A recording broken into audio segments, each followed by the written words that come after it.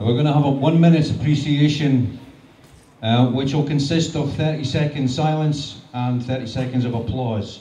And tonight, we remember Michael Tubby Griffiths, or Tubby Griff his friends. He first played for Glynneath against Hawick Trades 43 years ago, age 17. He loved the town, he loved the Hawick folk, uh, and he made lifelong friends here. He was very influential, continuing the Glynneath Hawick Association for a number of years, uh, including after his trades, the Hawick Trades folded in 2004. He continued to organise visits for the PSA, for the Wanderers, and latterly for Hawick Youth, and we were down there just uh, last year. He fought MND to the end, and unfortunately he lost his battle last Wednesday. And we thank his son Johnny for making the trip up tonight, and we remember Tubby.